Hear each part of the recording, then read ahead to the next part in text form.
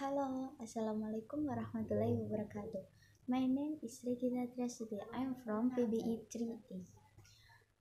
Uh, saya di sini akan menjelaskan mengenai degree of comparison. Degree of comparison adalah suatu sesuatu suatu materi yang bertujuan untuk membandingkan sesuatu lebih, setara, maupun kurang.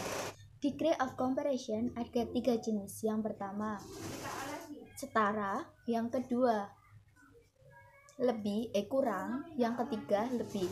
Yang setara disebut juga positive degree.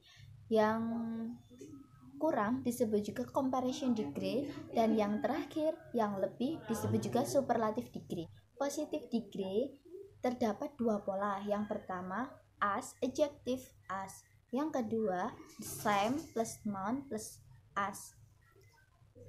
Contohnya, yang pertama, yang as adjective as itu Andi as smart as his father. Yang kedua, Andi the same as the same smart as his father. Yang kedua, comparison degree. Comparison degree ada tiga pola. Yang pertama, adjective plus er plus than. Yang kedua, more plus adjective plus than. Yang ketiga, less plus adjective plus than. Yang ketiga, superlative degree. Terdapat dua pola. Yang pertama, the most plus adjective. Yang kedua, the less plus adjective. Sekian materi comparison degree of degree.